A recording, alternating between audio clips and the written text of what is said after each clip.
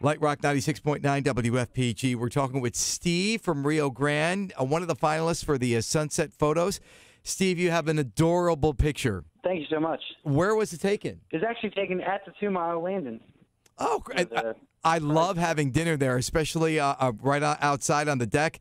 Uh, and it's your daughter and son, right? Yeah, it's Noah and Grace.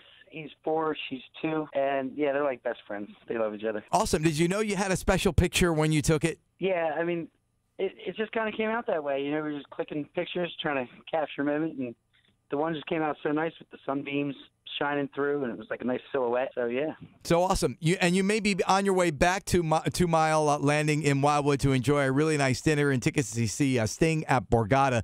Steve, thanks for taking a little time out of your busy day to chat with us.